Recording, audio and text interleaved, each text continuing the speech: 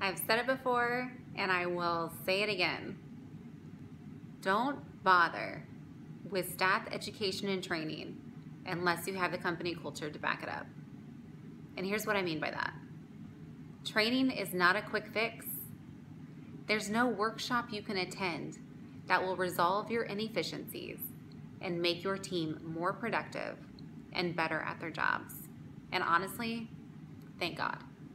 Because it would be a tragedy, a tragedy, if we could learn how to be the best at our jobs in a single day.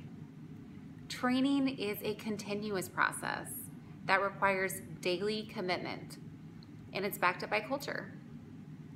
If you are a manager or a leader and you've ever said the words or something to the effect of, This is ridiculous, our people need training on this, then I challenge you to stop and take ownership of what you've done to contribute to the problem.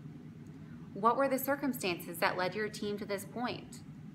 As a leader, how can you better empower and serve your team? If your staff is not proficient in an area, then meet them at their level. Clearly communicate the expectations and the importance, the why of what they're doing.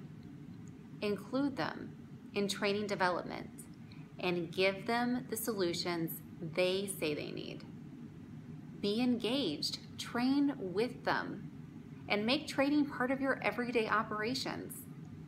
When you show that training is a priority to you, you're demonstrating that your team is a priority to you.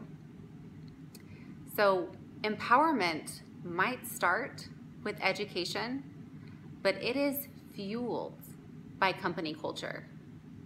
The question is does your culture empower its people? Thanks, y'all.